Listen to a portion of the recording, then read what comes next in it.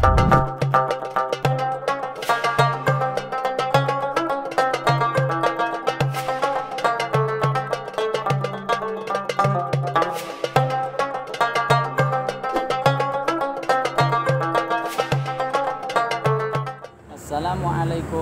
warahmatullahi wabarakatuh Alhamdulillahirabbil alamin wal aqibatu lil muttaqin wala udwana illa 'alal zalimin Wassalatu wassalamu ala sayyidil mursalin sayyidina Muhammadin wa ala alihi wa ashabihi ajma'in amma ba'd Hadirin kaum muslim muslimat rahimakumullah Kita sampai pada hadis ke-30 dari kitab Al-Arba'in An-Nawawi. Bismillahirrahmanirrahim an Abi Tha'laba Al-Khushani. Dari Abi Tha'laba Al-Khushani Julthum bin Nashir radhiyallahu an.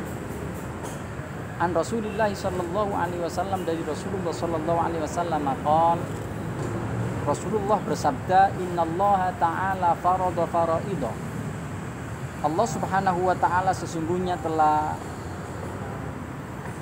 menggariskan fardu kewajiban.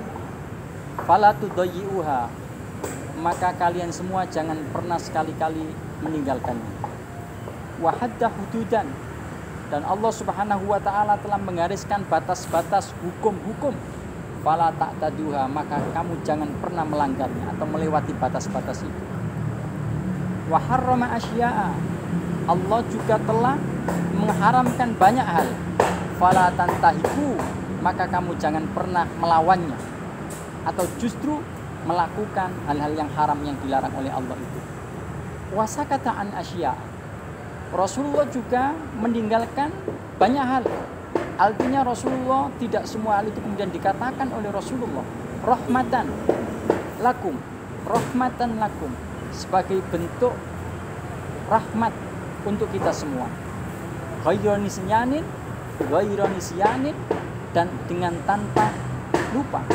Artinya Rasulullah di satu sisi juga telah menjelaskan tentang kefarduan, kewajiban, menjelaskan tentang adanya hak atau hukum-hukum, menjelaskan tentang haram-haram dan perintah-perintah Allah. Tetapi Rasulullah SAW juga dalam hal yang lain beliau tidak membicarakannya. Sebagai bentuk itu adalah rahmat bagi kita semua. Dan itu dikatakan oleh Rasulullah dengan sengaja, bukan berarti kemudian memang dilupakan. Fala anha. Maka jangan sekali-kali kita ini kemudian jangan kita ini sekali-kali kemudian membahasnya. Artinya ketika Rasulullah Shallallahu Alaihi Wasallam itu tidak memberikan arahan dalam satu hal, maka kita tidak boleh mencari-cari untuk mendiskusikan.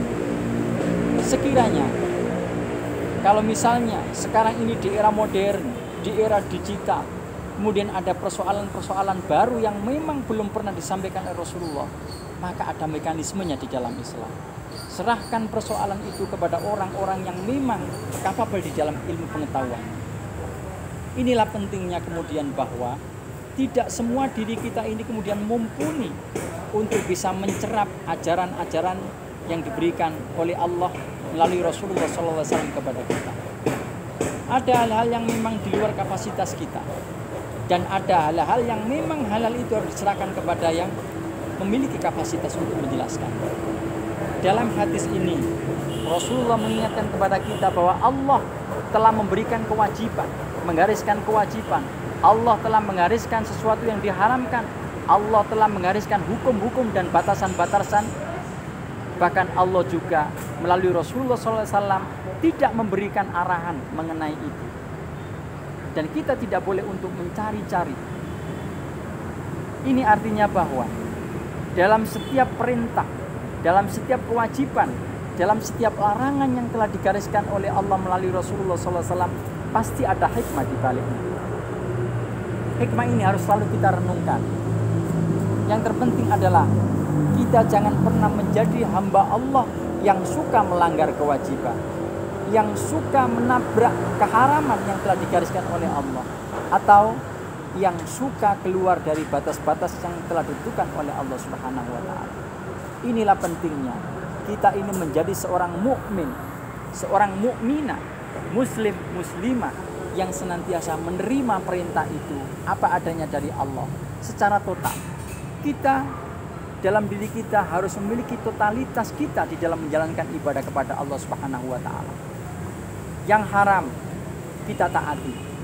Yang wajib kita jalankan. Hukum-hukum kita taati.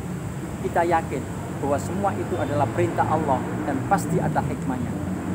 Jangan pernah kita kemudian mereka-reka apalagi kita kemudian mempertanyakan kembali kenapa ini wajib kenapa itu tidak maka sejauh itu perintahnya jelas dan datang dari Allah pasti Allah lebih tahu mengenai hikmah yang ada di balik itu.